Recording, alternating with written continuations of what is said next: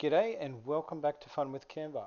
In tonight's tutorial we are going to look at the glass effect. So you can see here I've done a few glass effects and whatnot and I like this one the most so we'll focus on this one in the tutorial tonight.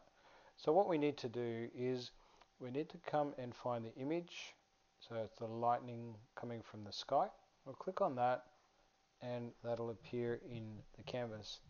So we're just going to drag that and line it up with the canvas.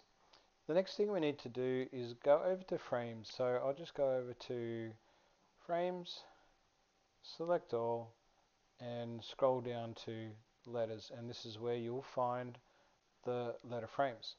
So we'll simply just click on the word storm, like so, and we will line those up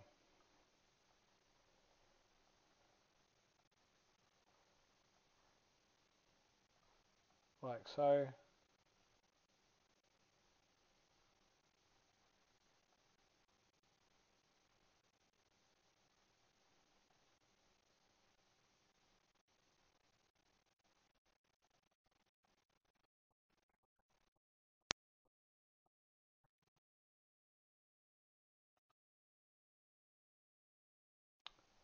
Like so. Now I just like to check to make sure that all the letters line up at the top. Yep, using the ruler and at the bottom. Yep, okay. So we'll select all of these letters and we'll just reduce their size and drag them over to the middle like so. Then what we want to do is click on the background, duplicate the background, we want to go to edit. So we want to look at blur. We want to blur the whole image to about 30, like so.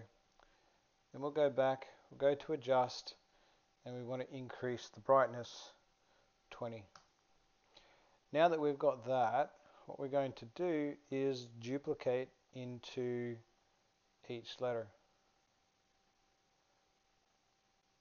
Duplicate that duplicate that,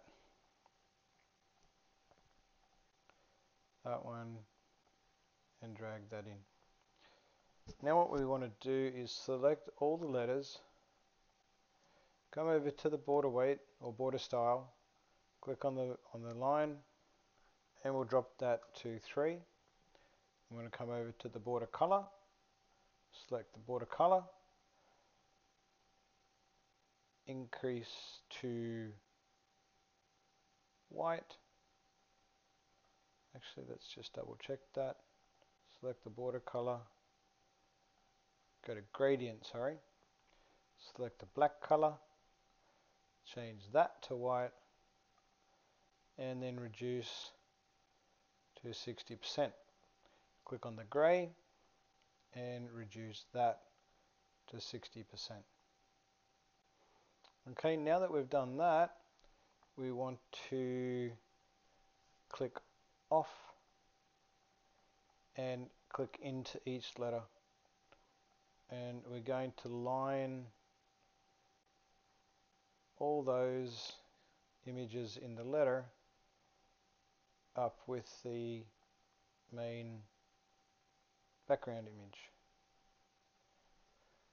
Okay, and just make sure that everything is lined up like so and do that for the next lot of letters.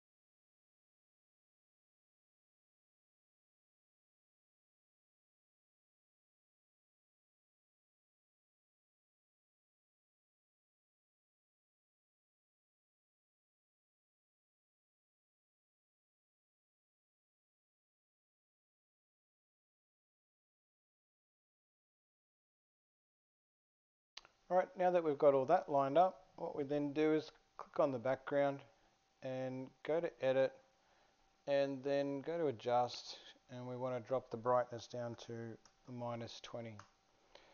So there you can see now that is the final image. We've got a glass looking effect on each letter and then a darker background.